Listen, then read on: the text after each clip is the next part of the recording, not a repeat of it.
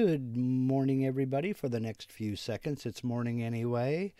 This is the part of the show where I let the clock on the wall do its 12 o'clock bong, bong, bong in the other room. And we sit and watch this screen saying that I will start shortly. And when the clock on the wall stops bong, bong, bonging, I will go ahead and take it away and say, Hey, y'all, happy Sunday. Glad to see you here. Thank you for joining me and spending part of your Sunday with me. I uh, do really do appreciate it. Uh, welcome to uh, live Q&A number 42. 42, holy cow. Oh, man. Seems like one a week is just enough, but not quite enough sometimes, I'm telling you. Uh, before we get going, I want to uh, say hi to everybody out here in the chat. Let's take a quick roll call, see who we've got. Looks like we have Mr. Matt Haas, Mr. Awesome Wood Things. Y'all need to go check out his channel. He's got some truly awesome stuff over there. Uh, Steve Nealon, from Harneil Media, the webmaster to the stars and wannabes like me. Uh, he's your guy for a website. Uh, there's a link in the description box below to harneilmedia.com. Uh, if you want just a little um, uh, a merch store or uh, you want a web store to sell items, uh, merch, as I mentioned, he can help you hook you up with a uh, print on demand service that'll take care of you and does an excellent job. Uh, if you want a full blown website, he'll do as much or as little as you want to do. Um, a good guy. He does specializes in uh, websites for makers and the makers community at makers prices. So I can't say enough good about him. Um, let's see, Mr. Mario Medina. Good morning, Mario. Good afternoon now. It's officially afternoon here. Ice Cream 62 from Italy. Hope you're doing well as well, my friend. Uh, Jeff Rozak from Florida. Mr. Ronald Ledger. I did get your uh, your comment did come through. YouTube has a problem with the link. I will address your question though. Um, let's see from Bedford QC. Holy cow. Um, for some reason, I was thinking you were in the U.S. I don't know why I was thinking that, Ronald, but welcome aboard. Steve Gronsky, how you doing? Checking in from Oklahoma. Uh, let's see, Dave Kraus in Michigan, Dale Francis in Utah. Uh, let's see, Michael Bell, Jerry Bonifield, Francisco Paz from Rio de Janeiro. I've got something to tell you folks in Mexico and Brazil in just a couple seconds. Uh, Kevin Els, Javi checking in from. All right, now I don't know if you're in South Florida right now. I think you're up on the property in Central Florida. I'm not sure, but wherever you are, thank you for being here. Uh, Dwayne Ruthig from Michigan, David Dietrich, Mike and Amy from North Carolina, Mr. Michael Casey from Florida, Steve Late, uh, John Casca from Canada, uh, Carl Gerke from Indiana. I don't know if that's Gerke or Garricky, whichever you pronounce it. Sorry for butchering it. Uh, let's see. Uh, Mike Urbani Ian Foot from London, welcome aboard. Jeff Smith from Sarasota. Uh, let's see. Uh, Woody Wan, Jeff from Woody Wan in Connecticut. My views from o- Oklahoma City. Percy Kuka. I'm going to butcher your name and I apologize it up for it up front. Auger Mage from South Carolina. Tim. Okay.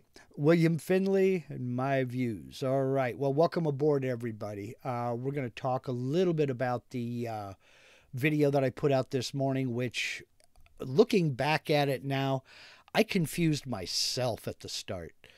That was uh, there was a lot of opening new sessions and closing when there did really didn't need to be. Um, this wasn't a very good demonstration. The, the beginning part of this video, um, basically talking about creating a custom clip art library, and the main reason I did it was because I found that I was using the same vectors over and over again, using some of the same models that I had created and using some of the same vectors I'd created for other projects.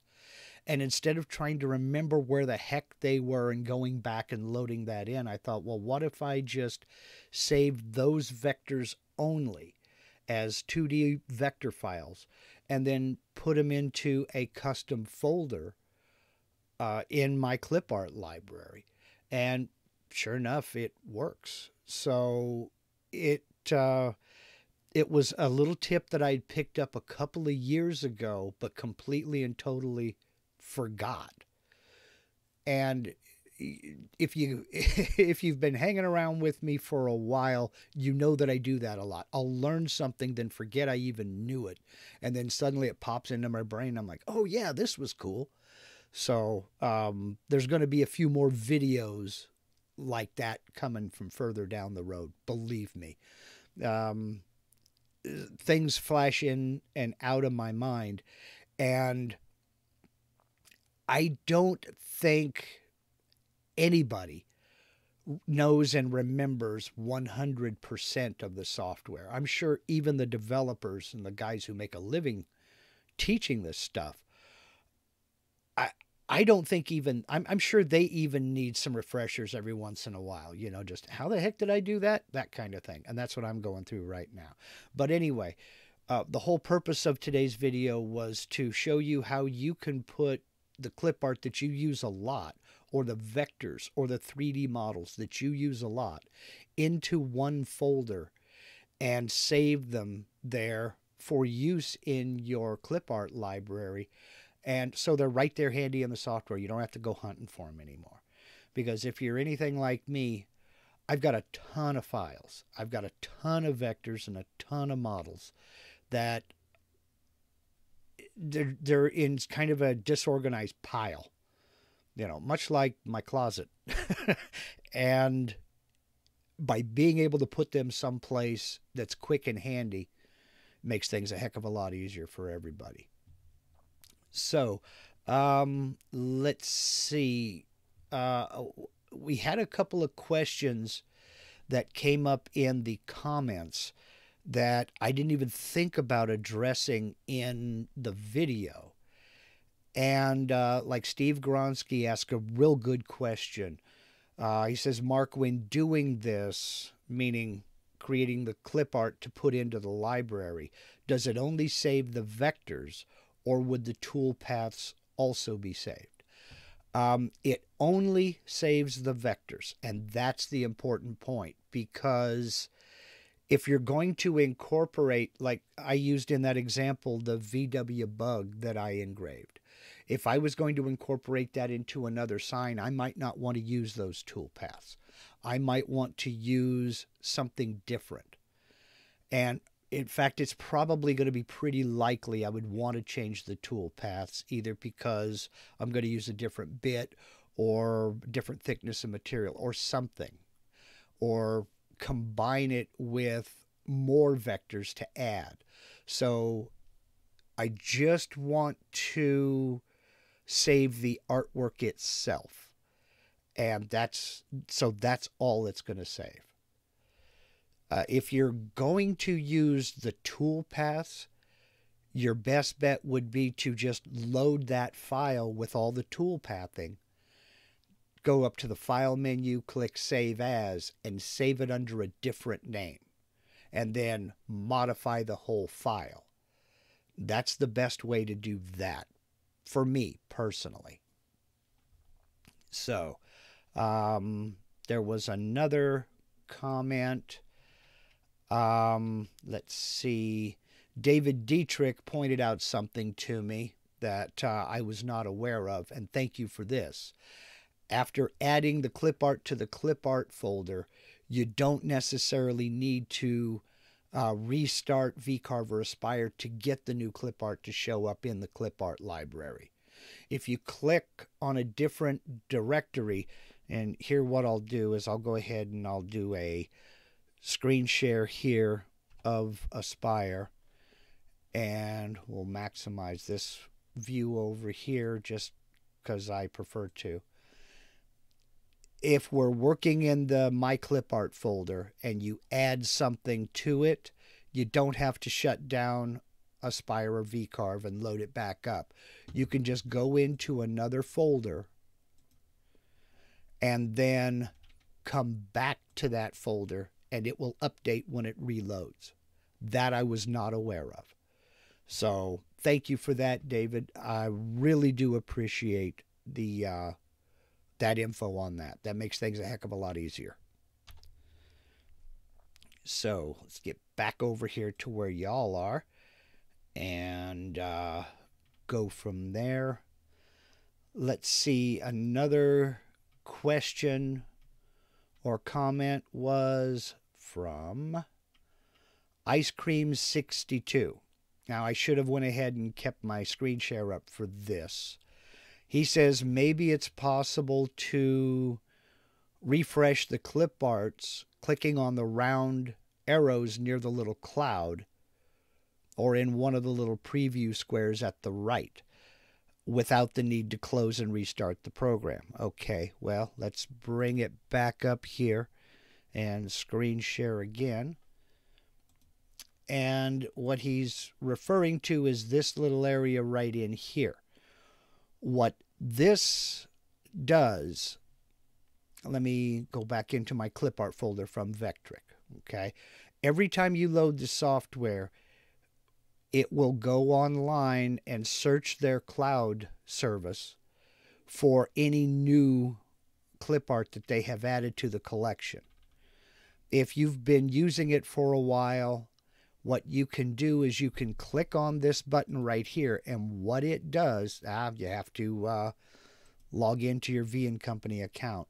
Go to open the website, log into your V and Company account, then click that button, and it will refresh the um, all of the clip art down here with any new models they may have added.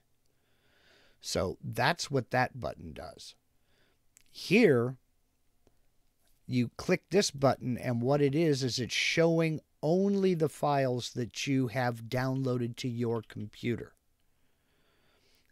If you don't, if you have downloaded all of them, it's going to show all of them. If you have not downloaded all of them, then those won't appear here.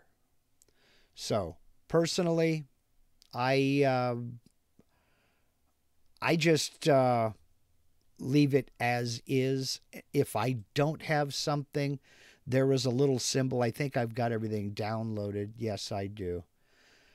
There is a little symbol around the thumbnail that uh, it, it's shaded in gray and has a little download icon over here to the to the right side of the thumbnail view, letting you know that it's available for download, but you don't have it. And all you need to do is click on that and it'll download it into your computer. So that's what the these two do here. They don't have anything to do with any of the folders you have on your computer. So hope that answers that. Okay. Let's see. Let me get back over here to y'all. So I can check this out now. So, um, the real quick announcement that I was going to make for the folks in uh, Mexico and Brazil is I just discovered that. Okay, let me back up a minute and regroup here. I close caption all of my videos, and you can access those closed captions by putting your cursor error arrow over the video screen, the panel there, and you'll see the little CC symbol down at the bottom.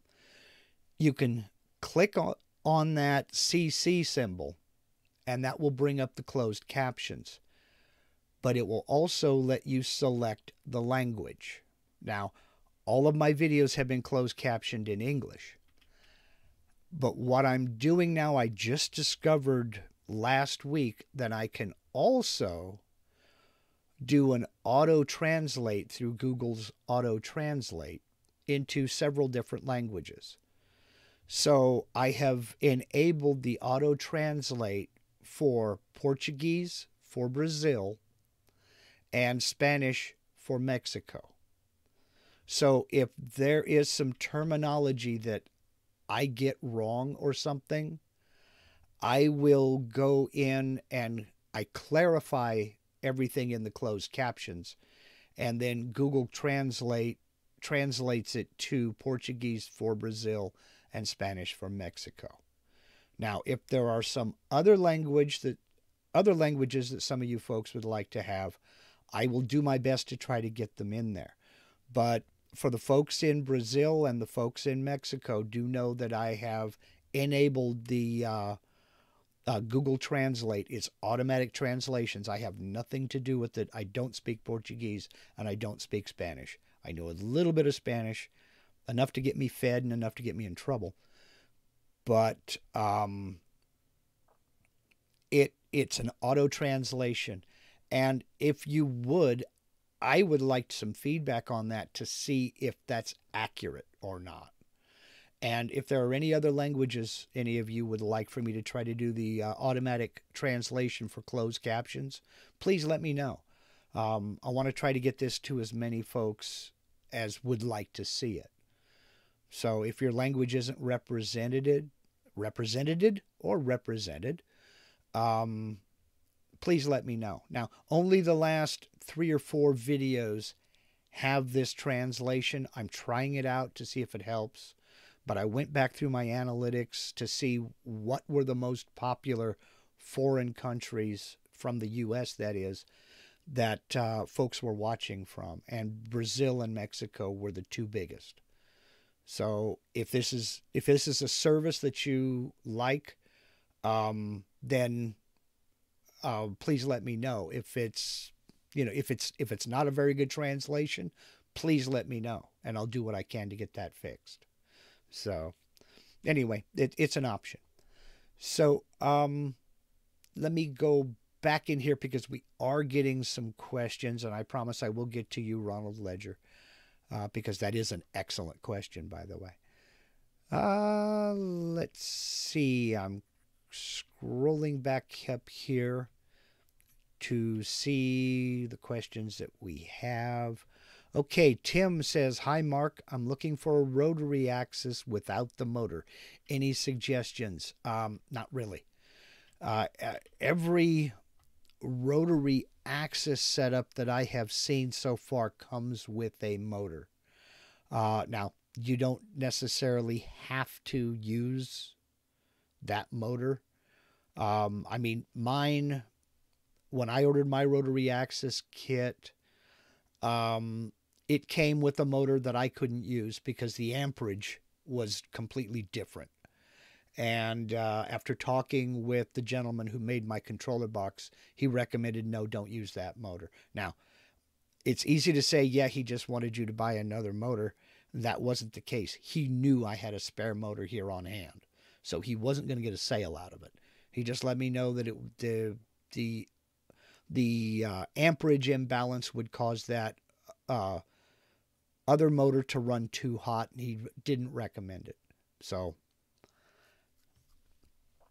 that's the only reason that I went ahead and swapped out that motor. As far as buying one without the motor, um, maybe if you go to like AliExpress or something like that, you can talk with a manufacturer about shipping you one without a motor.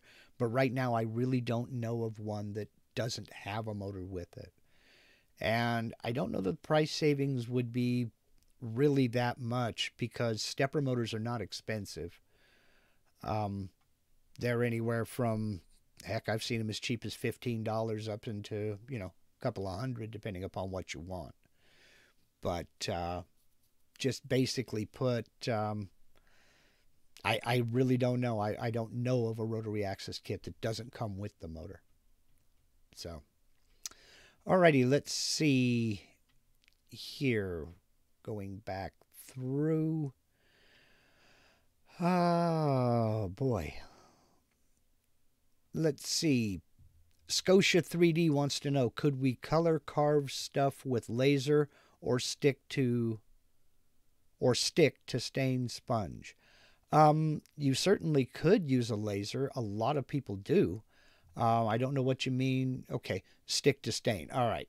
Um, you, you're only limited by your imagination, and I know that's a cliche and it sounds really cheesy, but um, it is the truth. I mean, I use paint, I use stained. I know people that use the um, acrylic crayons and oil crayons. I know people that just use uh, felt pens like a Sharpie, so uh, or colored pencils. It's 100% up to you. Using a laser, certainly. You know, uh, I know several people that do that. Let's see. Troy Pritchard wants to know can you put a folder within a folder, such as my clip art, and within that folder, create another folder for things like my clip art, trees or cars or flowers, etc. I believe you can, but I'm not certain. I didn't try it. Um, fact, you know what? Let's experiment right now. Always up for a challenge. Let me go ahead and bring up Aspire and we'll do that. Um, I will also open up um, my clip art folder here and let's create a folder within it. New folder and come along, Windows. I know you got a lot of stuff going on, and I'll call it VW. Hit enter, and I'll go ahead and move that clip art into there. So now, when I come up in here, I'll just click on this one. We've loaded that, and now we'll go down to my clip art. It loaded the folder right there. So yes, you can create subfolders. We all learned something right here live. That's very cool, and thank you for that idea. So now if I just click on that folder, it shows only the stuff within that subfolder. All right. Well, hey, Troy, great idea. Thank you very much for that idea. All right, that's actually very cool, and that's going to help out even more. So, great. I love that. See, y'all come up with stuff that I would never even think about doing. And uh, I love that. so thank you, Troy. Um, okay, thank you, Mario and Francisco. I really appreciate it. Okay, Percy Kuka wants to know for V carving, is it right to set the step over at 10 to 12% of the diameter of the V bit? Um, I on a V bit, I set my step over to about four percent. It depending upon how small the object is, I might go two percent because when you're using a V bit that comes to a sharp point to move back and forth and clear out an area, it's going to leave ridges. And so if you get that step over real tiny, you can make those ridges as close together and as small as possible. Um, now, I have yet to have a project come off of the machine that is uh, finish ready. There is always going to be some sanding. And that's why I use the nylon abrasive bristle brushes and the um, Scotch-Brite rotary discs on my uh, little Dremel rotary tool for sanding. But I do get it if you know, I'm a home hobbyist and I can afford to take the time. If you're in a high production environment, maybe you can't afford to take that time. Um, I would just say experiment and see what you come up with. You, the downside, the downside to setting a smaller step over is it's going to take more time to machine. If you are fine with doing cleanup sanding, 10 or 12% may be fine for you. And on a larger piece, it may be okay for you. But on a real small people, uh, people, on a real small project, where did I come up with people? Man.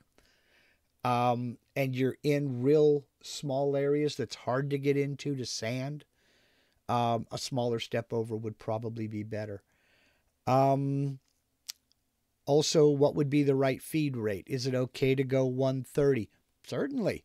I mean, it's it's up to you. It's it. There are so many variables, which is why I stay out of the feed rate uh, arguments all the time, is because the feed rate is going to depend on the material, the bit, and the machine. Some machines can handle 300 inches per minute, but the bit and the material can't. So you're just going to have to experiment and find that that sweet spot right in the middle there where you're getting a good result and it's moving fairly quickly. You know you, you you want to get the right speed and the right end result. It's great to be able to cut at 600 inches per minute and get it off the machine in five minutes. But if you're going to spend two hours sanding it it makes sense to slow down the cutting and maybe spend you know 20 to 30 minutes cutting that's my attitude anyway it's it, it's great to say you cut a thousand pieces on the machine today but if we're still both only putting out 500 pieces a week because I'm running slower and you haven't finished sanding all 1,000, then, you know, it's a trade off. So, but experiment. And that's what it's all about. So, um, also, what should be the step down? I'm guessing you're saying the plunge rate your uh, uh, depth per pass, your pass depth. That's what it is. I couldn't remember the words. Um, I generally speaking go with half of the bit's diameter at the maximum. And again, that's going to change depending upon the material and depending upon the machine. Some machines can handle um, a a real deep, you know, uh, cutting. Some some people can cut through 18 or 19 millimeter material, three quarter inch material in one pass. And if your machine will do that, great. Some can't. That's one of those things that you're going to have to experiment with. And Dave Matthews just threw in something going slower breaks fewer bits, and that's true. Also, cutting shallower per pass breaks fewer bits because you can be cutting along nice and slow, but if you're cutting too deep, you're putting just as much stress on that tool as you would be if you were going faster. So it's it's kind of a balancing act there. Experiment. I mean, it's it's, just experiment with it. So um, Mike Urbani wants to know Will this work with SVG files also? I have no idea, Mike. I really don't use SVG files. I may have one or two on my computer. I can experiment, but feel free to experiment as well. Um, I mean, you can set up a folder, throw an SVG file in it, load it, and if it doesn't work, you can always remove the folder. I mean, just right click that. Well, let me bring it up here. Um, make sure I'm sharing. Yes, I am sharing, but I'm not sharing the right thing. You can always uh, bring that up. You can always select a folder and remove it right there. It won't delete the artwork off of your computer. It just removes that folder from the list. That's all and then you can go back in and get rid of it. So experiment. I, I really don't know if it'll work with SVG files. I do know it'll work with DXF files. So if you have DXF files that you use a lot, you can put them in there. Like, for instance, um, we have here 2D game layouts, cribbage boards, etc. These are DXF files. Some of them are. Uh, some of these are CRV files, but some of them are also DXF files. So, yes, it will work for those, but I really don't know about SVGs. So, let's go back over here to where you all are. Uh, Mario Medina says he can help with the Spanish. Thank you very much, Mario. Okay, Cooper 5741 says, I'm using VCarve Pro. Did you do any videos on guitar body making? Uh, no, I did not. Um, I have so many things on my list right now. I have not yet got into, and that was the whole reason for getting into CNC was for guitar work. I have not cut the first guitar project at all on my CNC. I mean, I've just been diving into it and having fun with it and totally forgot the whole reason for getting into it. So, um, also watch the video on making a fretboard. Did I do one with cutting fret slots using the CNC? No, I have not. But I can tell you, you're looking at using a end mill with a di- diameter of about 22 to 23 thousandths. They are extremely delicate. In some materials, you're looking at feed rates in the single digits, like four, five, six inches per minute, because they are so delicate. And I know they're delicate because I got a 23 thousandths diameter end mill and taking it out of the package, dropped it. And of course, it landed tip first on my concrete shop floor and shattered into about six pieces before it ever got even chucked into the uh, router. So, do not use a touch plate with small diameter bits. Don't do it. Just bringing down to touch off will shatter that bit. Don't do it. Don't ask me how I know that. Um, use the little paper method for uh, setting the uh, zero your Z0 on a small diameter bit like that. They are very delicate. So uh, no, actually, I have not done any guitar building videos since I got into CNC. I have not done anything cutting at all on a guitar. Uh, let's see. Is it possible to make a radius and Aspire? What type of radius are you talking about? Are you talking about radius between vectors? Are you talking about a dome shape uh, or something like that? Um, two rail sweep is a good option for making something like a curved piece of molding or something like that. So that was from Boss X, by the way. Uh, let's see. Doug Rothenberger wants to know Are there special steps to take when attempting to do a manual tool change partway through a job? Um, every time I try after changing the bit, restarting my Z axis moves the Z axis up and limits out. Okay, um, that that may or may not be a machine issue. Um, the only special steps I take for a manual tool change, and that's how I do it. I don't have an automatic tool changer, and I don't know that I know anybody that does that isn't running a professional machine. Um, I will get to the point where I need to do to do the tool change, swap out my bits, and then all I do is I reset my Z0. I use a touch plate. Um, and but some people use the paper method. Some people just, I know, like Peter Pasuelo uses a flashlight behind the bit, and he just uh, brings the tip down until he no longer sees light coming out from the bottom of the bit, and then he sets his Z zero. Uh, but you do have to do that. You have to reset your Z zero. After that, I don't know why your Z would be moving up to limit out.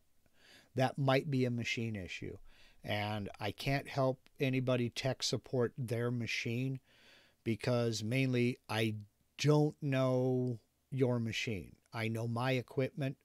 I've not used anything other than my equipment. So I can't help you with like a Shapeoko, ShopSabre, uh, CNC Shark, or anything like that because I don't know the machine. Uh, I would go to the machine manufacturer's website, look for either community or support and see if there is a community or support forum or even a Facebook group. Uh, a lot of manufacturers now have a Facebook group, and these are all people that use your machine and have been there, done that, found a fix, found an answer. And uh, that's what they do. They share tips and tricks, they share files and artwork and methods and techniques and help people troubleshoot and solve problems. So I would definitely look for a support community for your machine and go from there. Uh, let's see. Troy Pritchard says Dave Gatton uses a laser to make fret grooves. He uses a laser to make fret indicators and to mark where the fret goes. Uh, he's also done um, used a V bit to do the same thing, where you're just using a V bit to make a very small little mark on the fretboard to indicate where that fret slot goes. And then you come back with a fret saw and your own rig.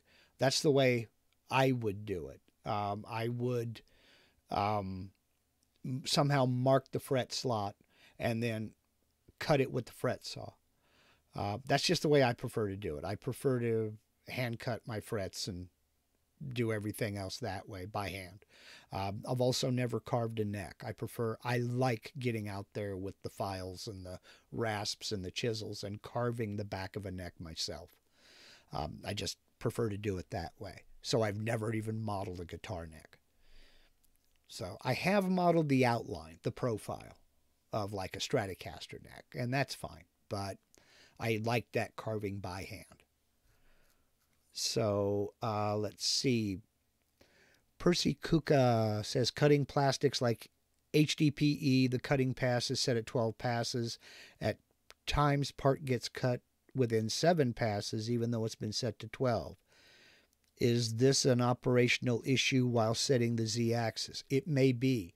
It may be you didn't have the correct material thickness entered if the material is set up for 18 millimeters and the file is set up for 18 millimeter material and you only use 12 millimeter material, that could be your issue. Um, if I'm doing, I don't have very many files like this, but there are a couple of files where I might use it on three quarter inch material and some I might use on half inch material. I have files for both thicknesses and then I just have to keep in mind which one I'm using, and I keep them in separate folders so that I know they're for different thicknesses. So uh, let's see. Doug Rothenberger saying uh, the steps are click the stop button to move the head to change bit, Reset Z axis, leave X and Y alone. Click start button, then the head moves up in the Z axis and hits the limits and goes into emergency stop.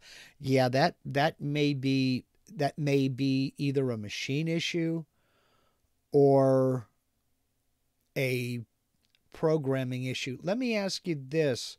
Are you putting all of your G code into one file? Because what I do is I, I set up different files. Uh, like if I am V carving something and using a clearance bit, I have one piece of G code for the V bit, one piece of G code for the large area clearance tool, and then another piece of G code for the profile cutout. And I have zero problems that way. It only takes a few seconds to load the G code. You know, just to close file, then load the new G code file. That only takes about five seconds. So I don't put all my G code into one file. So that may help. Um, let's see. Dave Matthews, I use something like a 15 to 20 degree V bit, cutting 10 to 15 thousandths deep to mark where to put the frets. The saw caught in the groove nicely and made it easy. Yes, that's exactly what I'm talking about. Okay, David Dietrich, my experimenter. Dude, you are the man. I just imported an SVG file into Aspire, saved it to my clip art folder, and it shows up in my clip art library. Beautiful. Thank you, sir. Thank you, sir. Ah, let's see. Cooper 5741. When marking for the guitar frets, I assume you put tabs in so when you put the fretboard in the fret jig, it stays square then cut the tabs off later, or did you use sticky tape?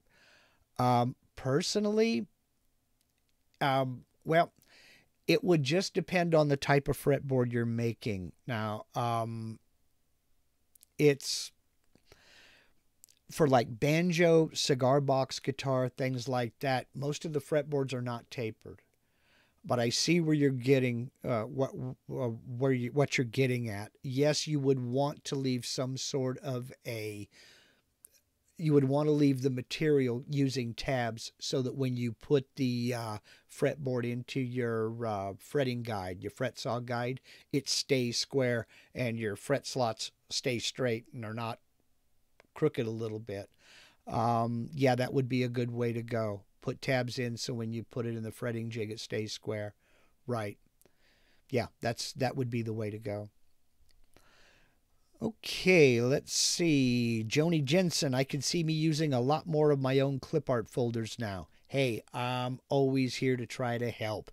And if that means you just kind of um, got a new hobby reorganizing your your vectors and your 3D models, I apologize.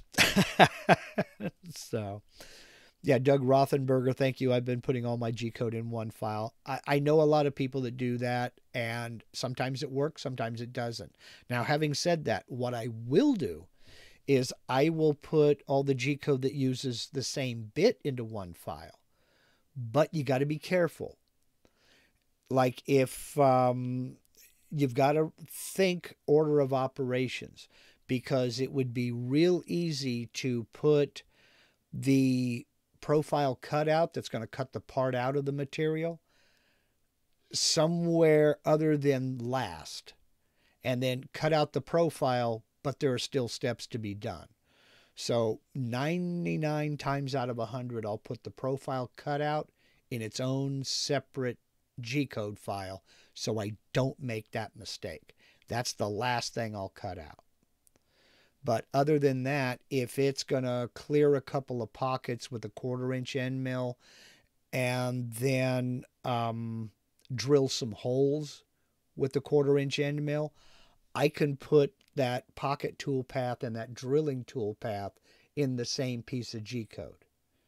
And if I'm going to be V carving with a V bit and then doing a chamfered edge where the profile is going to be, I'll because they use the same V bit, I'll put those in the same piece of G code.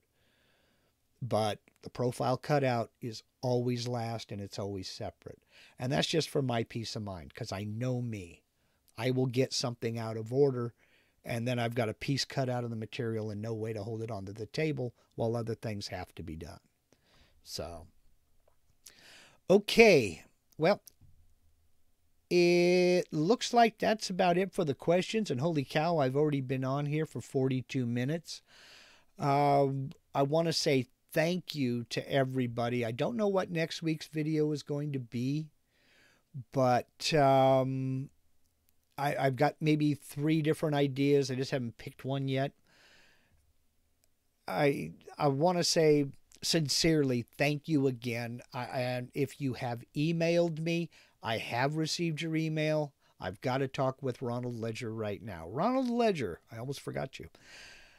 Um, your question, like I said, Facebook or Facebook, YouTube doesn't like the link that you posted, but he wants to know I subscribe to and receive scroll saw art every day in PDF format. Then he has a link to an example. How would I be able to capture these vectors for VCarve Pro clip art. There can be many to a page. About the best way to handle that would be take them one on one. And I know you don't want to hear that. But as we just saw, you can set up a folder in your clip art file and put those PDFs there. Then you've got a couple of ways of doing this. It depends on how the PDF was set up.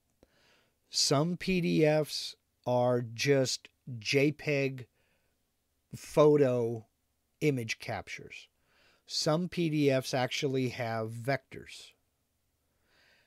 You can try to import the vectors from that PDF, just go to, like I showed in the video this morning, File, Import, Import Vectors, and look for that PDF. If there are any vectors there on those PDFs, then perfect.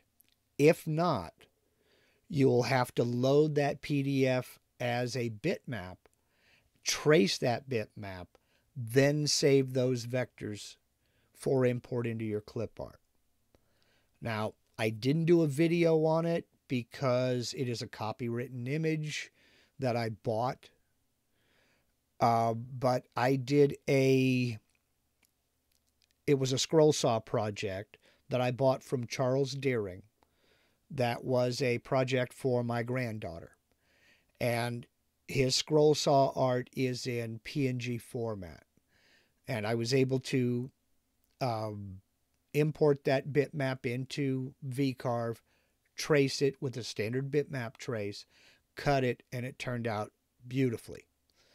So I know that does work, but unfortunately, you'll probably have to do them all one on one by one.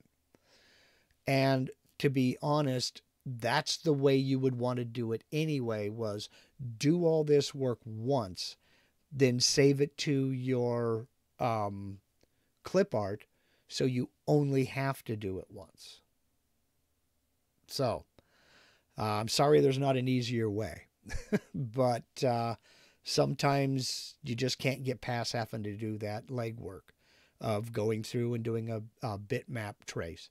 Now having said that 99 times out of 100 scroll saw projects are black and white.